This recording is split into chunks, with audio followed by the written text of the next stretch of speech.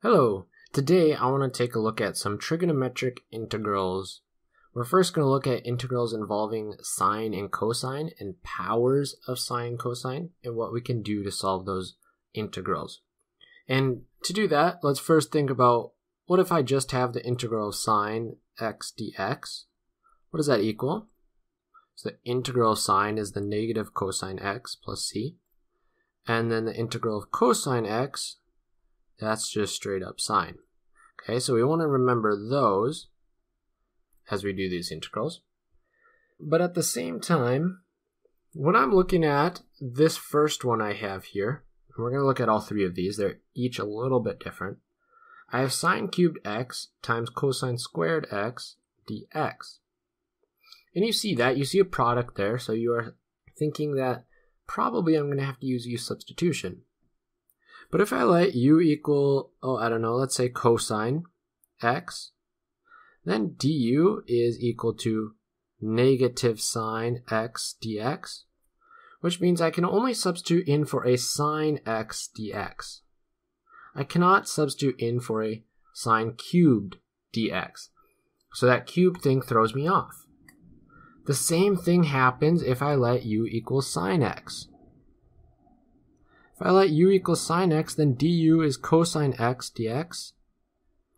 But I have a cosine squared, so I cannot substitute that in. I can only substitute in for a straight cosine x. This means I need to mess with this somehow to have only a sine x dx somewhere, or only a cosine x dx somewhere. I need each of those chunks so that I can let u equal the other trig function. What I'm going to do, look at this odd power whichever trig function has the odd power, I'm going to peel off one of them. I'm going to take one of those sines and put it at the end. So voila. I now have sine squared x times cosine squared x times sine x dx. Because this sine squared and this sine x, together they would equal sine cubed, which is what I originally had. So that's good. So you're like, okay, let's let u equal cosine squared. But then I would have u squared du, but I would still have this sine squared. So the next task in these integrals is to get everything in one trig function except the little portion that you're saving for your du. And in order to do that, we rely on our nice little identity friend, the Pythagorean identity of sine squared x plus cosine squared x equals 1. This is so useful in these. Because then I can manipulate that equation and I can say, all right, well, sine squared x is equal to 1 minus cosine squared x if I subtract over the cosine. That means going back to my integral, I can substitute in for sine squared, and I can say sine squared x is the same as 1 minus cosine squared x, times cosine squared x times sine x dx. So let's think about that one more time. I need to look at my odd power, take off one of those powers and save it at the end, sine x dx. And then I need to get everything in the other trig function. So since I peeled off a sine, I want everything to be in cosine. Therefore, I convert the sine squareds into cosine squareds by using the Pythagorean identity. At this point, because it will make things cleaner and I won't have to write so many trig functions, I'm going to do my u substitution. And I'm going to let u equal cosine x. That means du is equal to negative sine x dx. So I can deal with that negative 1 by moving it over. And I'm going to make my substitution. I'm going to end up with negative integral of 1 minus u squared times u squared du. It cleans it up nicely once you do that u substitution. So this was my du, and then I put in my u here and here. Okay, and now I will multiply this through, so I get u squared minus u to the fourth du. And now it's just a little bit of power rule integration. So it equals the negative times u to the third over 3 minus u to the fifth over 5. Add 1 to the exponent, and divide by that same number. And then to finish off, I'll just plug back in my u. So it's negative cosine cubed x over 3. I'm also going to distribute that negative in.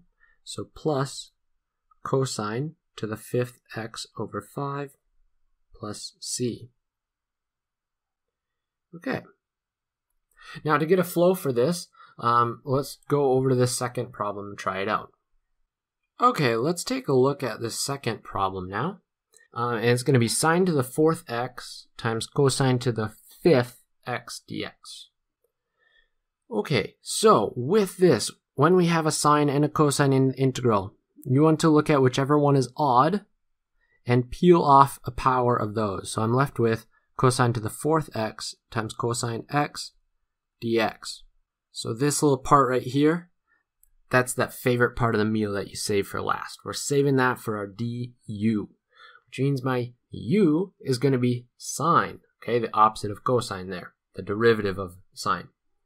So if my u is sine, I need everything to be ter in terms of sine, except for the remaining cosine x dx there.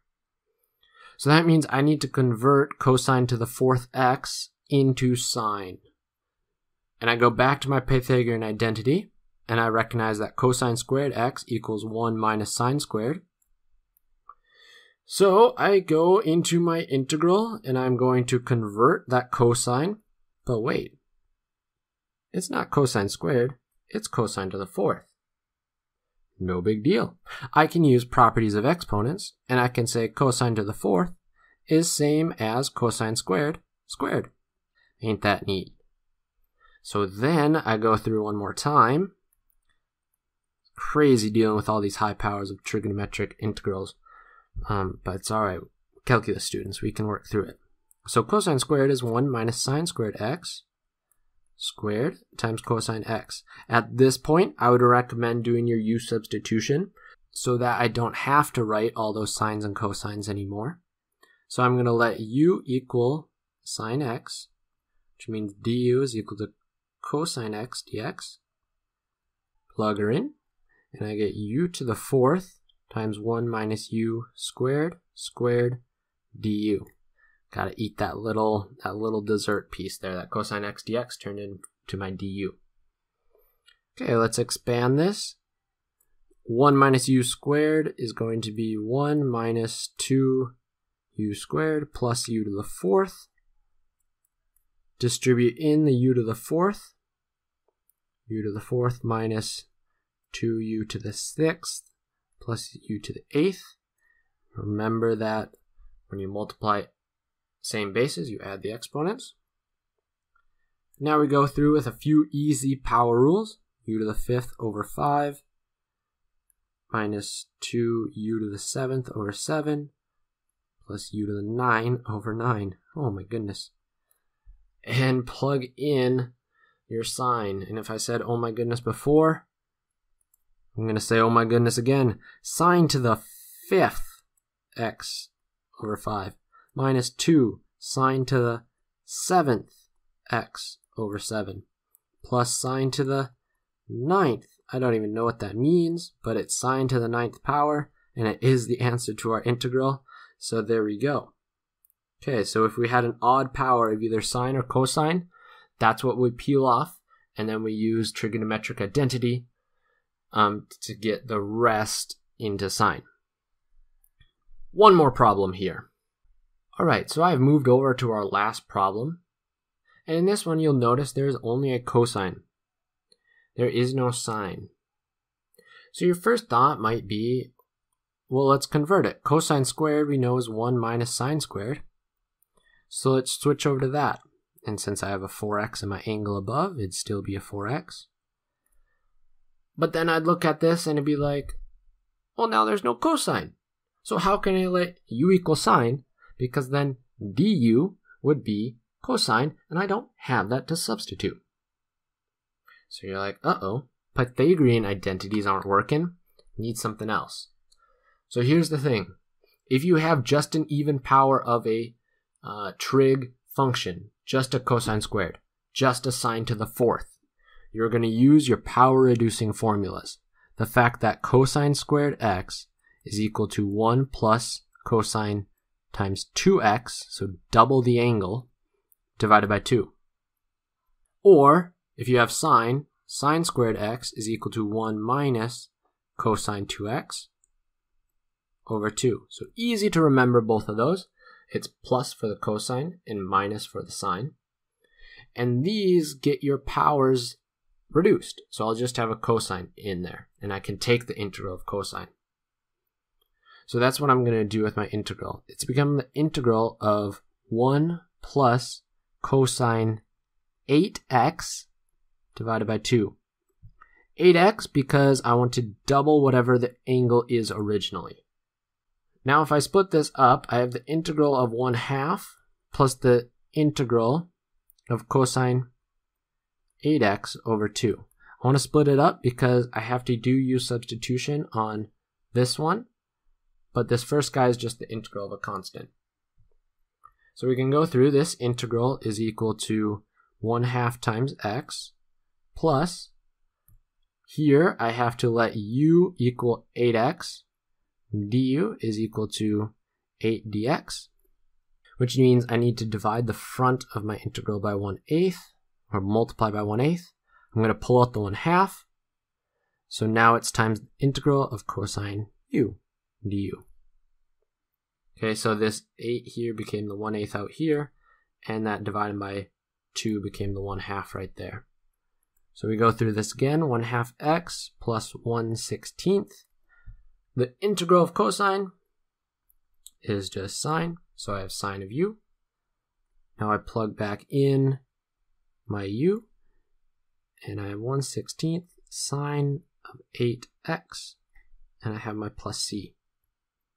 All right, so there we see if the powers are even, and this works even if I have a sine squared uh, 4x in there as well. Let's say I have that.